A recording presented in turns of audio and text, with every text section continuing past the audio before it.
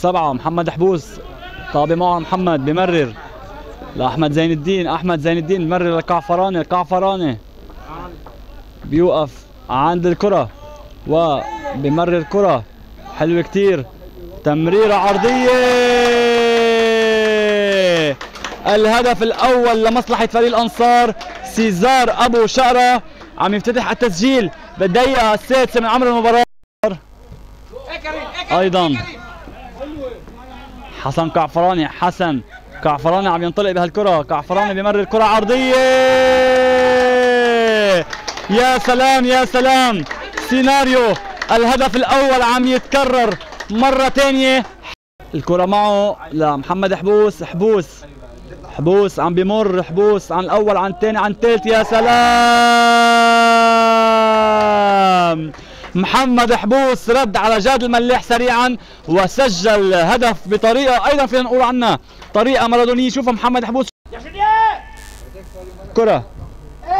والهدف الرابع لمصلحة الأنصار ومثل ما قلنا سيزار أبي شقرة عم يدور على الهاتريك كرة طويلة. يا سلام على عمر بهلوين كيف أخذ الكرة؟ يا سلام عمر بهلوين. الله الله الله عليك. هدف رائع جدا من حسن كعفراني ولكن المجهود الأكبر من عمر بهلوين. خلينا بركي من كرة لصالح فريق الأنصار ومحمد حبوس عم بسجل الهدف السادس.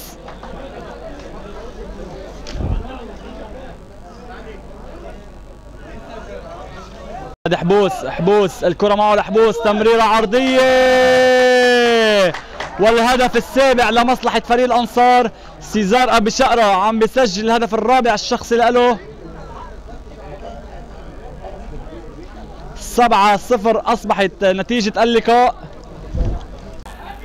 موجود أيضا لتغطية اللقاء وصوره الحلوة.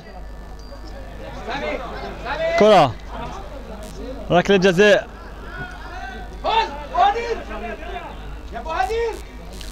على تنفيذ اللاعب ألكسندر ألكسندر بيسدد والهدف الأول لمصلحة أتلتيكو النتيجة أصبحت 7 1